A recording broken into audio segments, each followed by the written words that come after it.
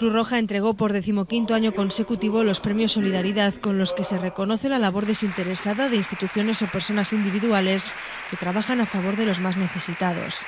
Entre los premiados, Fernando Sánchez Tendero, premio a la acción individual, el Centro de Madres Solteras de Santa Marta por la acción colectiva, el Corte Inglés en el ámbito empresarial o María Carpio, premio especial Solidaridad 2010 que me he quedado, porque hay tanta gente que hace cosas tan maravillosas que dices, bueno, sí, yo también hago buenas cosas, pero escuchar lo que hace otra gente, tanto aquí en Salamanca, y dices, bueno, es que todo el mundo se lo merece, pero ha sido alucinante. Bueno, nuestra labor es, es, un centro que apuesta por la vida, ¿eh? es un centro de acogida para mujeres gestantes o con niños pequeños en dificultad. ¿eh?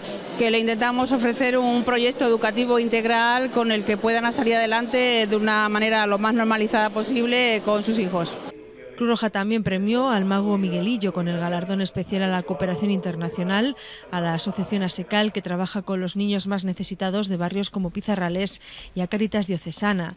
En la gala hubo un especial recuerdo hacia los damnificados por el terremoto de Haití.